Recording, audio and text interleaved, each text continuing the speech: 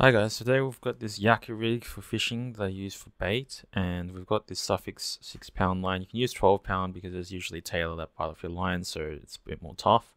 I don't like retying my rigs, um, especially hooks because they're very fiddly. So these hooks are Mustad size 8s.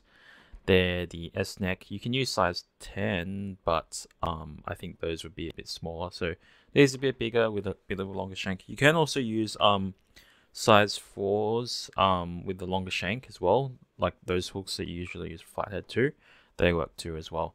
So basically, simple knot. So I loop it through the eye of the hook, and this can be fiddly sometimes because these hooks actually sometimes have a gap and your line actually falls through.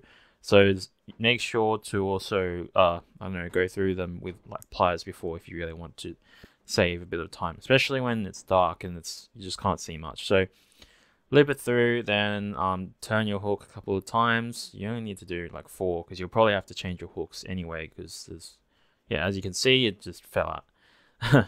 but that's what can happen if you're tying a hook and that's not really what I want to happen. So ideally you get the pliers and then you, um, you close the gap. You can see there's a bit of gap in the, in the hook.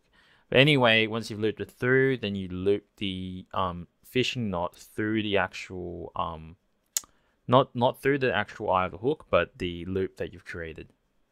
So yeah.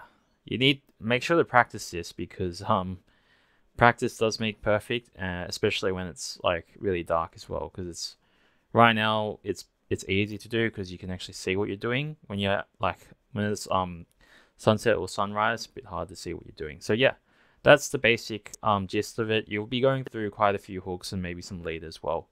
Um, but hope you found this video helpful. Uh, if you have any other requests or video ideas, please let me know and I'll see you in the next video.